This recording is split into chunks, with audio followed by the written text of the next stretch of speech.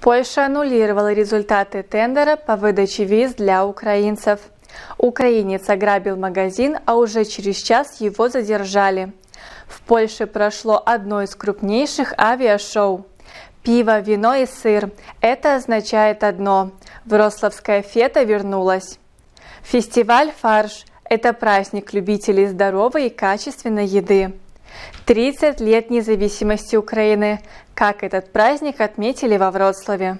А также мы поговорим о других событиях в Польше за последнюю неделю. С вами Нестерович Екатерина, и это новости in Poland. Мы начинаем.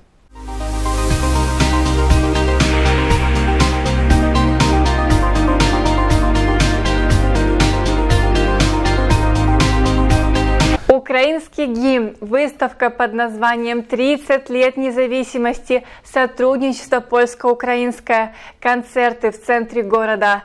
Так во Вроцлаве украинцы отпраздновали независимость своей страны. В полдень с башни городского музея на Врославской площади прозвучали гимн Украины и Польши.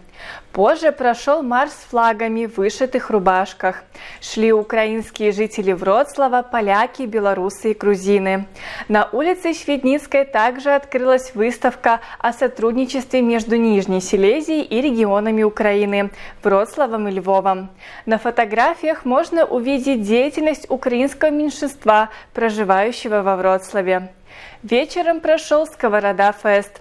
Фестиваль показал современное лицо украинской и польской культуры. Там выступили группы «Вымирающие виды» из Вроцлава и «Дак Дотерс», происходящие из Киевского экспериментального театра. Также была ярмарка и мастер-классы для детей. После длительной паузы в Польшу вернулось одно из крупнейших авиашоу в стране – «Лотос Гдыня Рабалтик 2021». Мероприятие проходило в выходные 21 и 22 августа. На аэродроме Косакова в Гдыне собрались тысячи сторонников авиации, фотографы и просто желающие посмотреть на акробатические трюки реактивных самолетов. На показах можно было увидеть полеты самолетов F-16, МиГ-29, Су-22 и вертолетов. После приземления пилотов была возможность поговорить с ними, задать вопросы. На земле была возможность увидеть выставку военной техники. Также для гостей была организована зона футраков и развлечения для детей. Изюминкой авиашоу стало участие турецкого F-16 и группы Королевских воздушных сил Великобритании RAF Red Arrows. Национальная апелляционная палата Польши отменила результаты тендера на предоставление визовых услуг в Украине. Участники конкурса пожаловались, что победитель не предложил самую низкую цену. Кроме того, агентства трудоустройства из Польши и Украины были частью консорциума. Это вызвало опасения относительно конфликта интересов, потому что компания, которая одновременно привозит сотрудников, участвует в подготовке визовых заявлений. В ноябре этого года деятельность текущего визового оператора в Украине прекратится. Пиво, вино, сыр в лучшем виде в самом центре прекрасного Вроцлава. Это означало только одно – Вроцлавская фета вернулась. На этот раз большое кулинарное угощение было организовано на площади Новый Тарг. Премьерные вкусы, удивительные дополнения, встречи с производителями – это то, что можно было встретить на фестивале. Вроцлавская фета обеспечила множество кулинарных ощущений с пятницы по воскресенье. Была возможность добраться до пивных эксклюзивов, попробовать ремесленные сыры и выследить отличное вино. Три дня оживленные, наполненные до краев потусторонними ароматами, такой был третий фестиваль Врославской феты. Украинец ограбил магазин, а уже через час его задержали. Вечером в понедельник, 16 августа в Плотске, мужчина вошел в магазин и, угрожая продавцу ножом, потребовал деньги.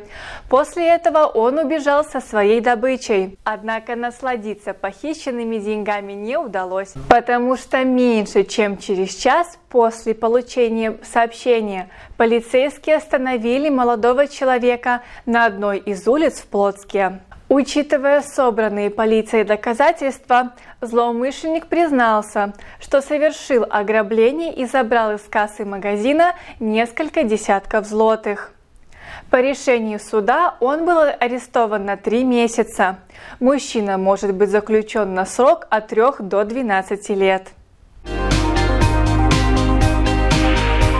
Фестиваль «Фарш» Это праздник любителей и представителей пищевой сбалансированности. Это о том, что каждому из нас близко. О еде.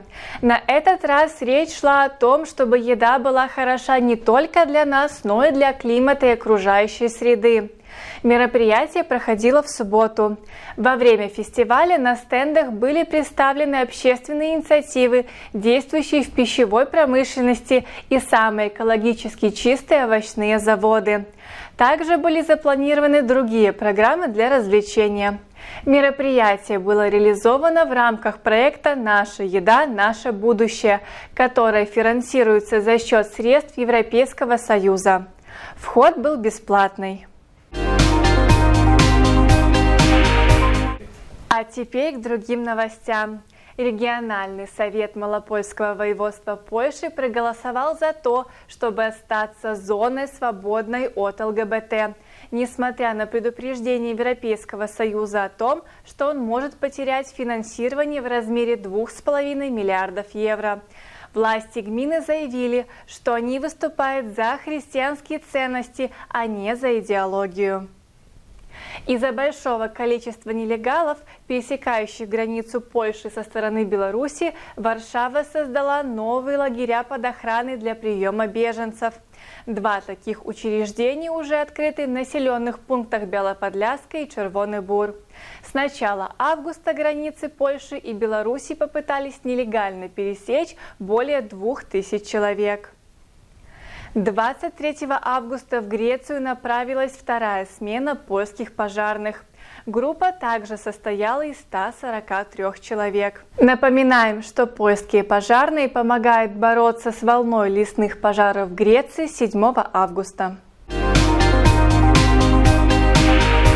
Выпуск наших новостей подошел к концу.